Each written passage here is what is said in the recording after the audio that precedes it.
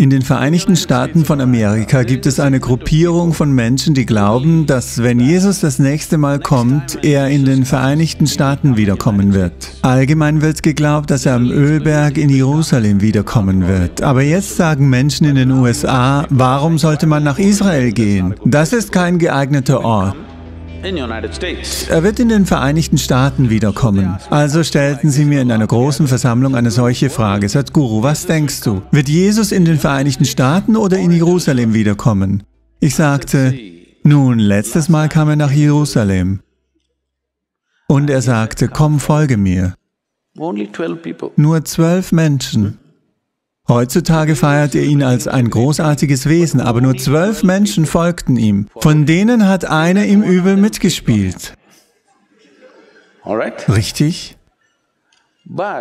Aber wenn er heute in die Vereinigten Staaten kommt, wenn er sagt, komm, folge mir, Du hast einen Bankkredit, einen Studienkredit, einen Autokredit, einen Hauskredit, einen Ferienhauskredit. Du bist für 45 Jahre mit einer Hypothek belastet. Wenn Jesus sagt, komm, folge mir, wird niemand da sein, weil jeder zur Bank gehen muss.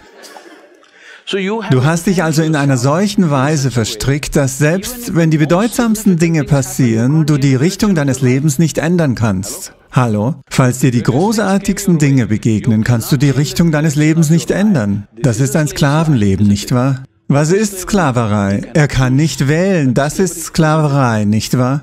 Jetzt triffst du diese Arten von Vorkehrungen in deinem Leben. Du kannst nicht wählen, du steckst fest in deinen eigenen Vorkehrungen. Eine Spinne webt ein Netz, damit andere Dinge sich darin verfangen. Aber wenn du die Sorte Spinne bist und du ein Netz baust, in dem du dich verfängst, bist du eine dumme Spinne, nicht wahr? Und die meisten Menschen sind in diesem Zustand.